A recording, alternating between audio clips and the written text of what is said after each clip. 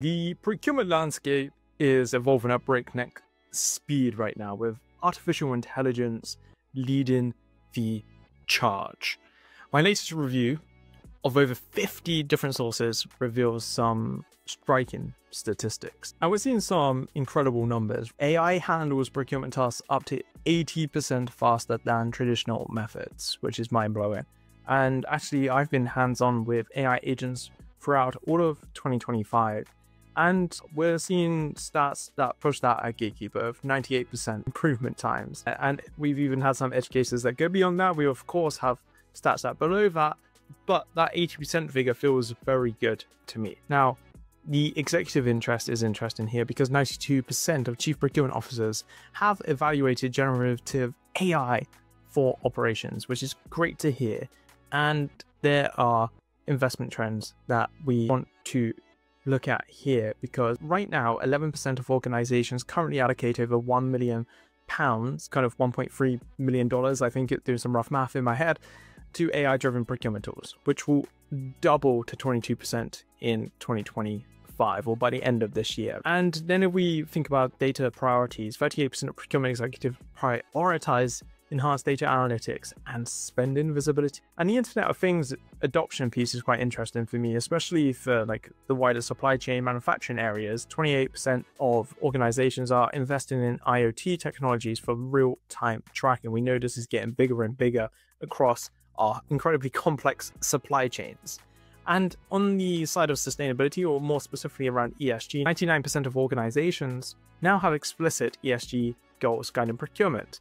And I, I, did a bit of a deep dive into that one. It looks fairly solid, the numbers. I was kind of expecting it to be way lower. So I'm going to take that with a slight pinch of salt, but we're just going to leave it in there for now as a guiding principle. It does seem to be gaining more and more relevance from what I'm seeing. The political nature in the US doesn't really seem to have had a huge impact on it. And then leadership models 60% report implementing collaborative leadership models where CPOs partner with their CEOs, their CTOs, to make all of this AI stuff become a reality, right? Now, the data highlights fundamental shift in procurement's mission. No longer merely a cost cutting function, today's procurement teams are becoming strategic value creators. And I have five key trends that support this transformation. So, to start with, AI as the new procurement engine. We're now moving away from old procurement methods to AI systems that can do things like manage contracts through conversation and automatically approve various different tasks. I'm working on incredible things like this myself at Gatekeeper, where we can review and approve vendor onboarding, due diligence checks, contract reviews. It is incredible to see. Next, we have data driven decision making. The largest percentage of procurement executives identified enhanced data analytics and spending visibility as their top initiative. Organizations are leveraging predictive capabilities not just to understand past spending, this is important, but to anticipate demand trends and optimize inventory management, which is really important for like the TikTok effect. And I've discussed that previously on my videos and over on Substack. And that just creates the perfect moment to talk about this. If you haven't already subscribed to the AI procurement blueprint over on Substack, please go and do that now.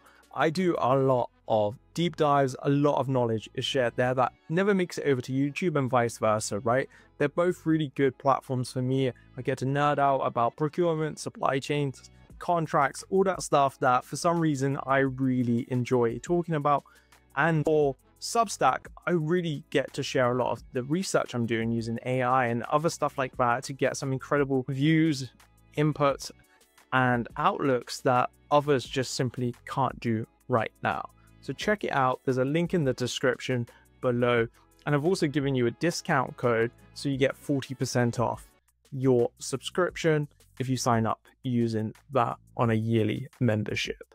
See you soon. So let's get back to the video. And then point three that we're talking about, building resilience through technology. This is important because in response to recent supply chain disruptions, war, things like that that are happening sadly in the world, cutting edge technologies like digital twins are enabling sophisticated scenario planning. Solutions addressing geopolitical tensions and China Plus One diversification strategies are becoming essential components of the procurement tech stack at last. Now let's move on to sustainability as a non-negotiable. An astounding 99% of organizations now have explicit ESG goals guiding procurement activities. more than a quarter of procurement leaders identified sustainability oriented technologies as a key priority, recognizing that environmental responsibilities and cost efficiency can be complementary rather than competing objects. This one surprised me, especially with the combined forces of Trump and Musk have mentioned the value of ESG, DEI, and other things like that. I'm sure I'll get some hate in the comments as I did on this short that you should definitely go and check out. The comments are wild on that video. Now, collaborative leadership models, the days of silo procurement decisions are absolutely over, and they have to be. And if you can't put an end to it, we've got some issues. A significant 60% of organizations report implementing collaborative leadership models where CPOs partner with CIOs and CTOs, reflecting the increasing technical nature of procurement solution. And that's everything for this week's deep dive. Breathe. Please make sure you like the video, subscribe, and let me know one takeaway that you got from this video. And I will hopefully see you next week for the next one. See you soon. Goodbye.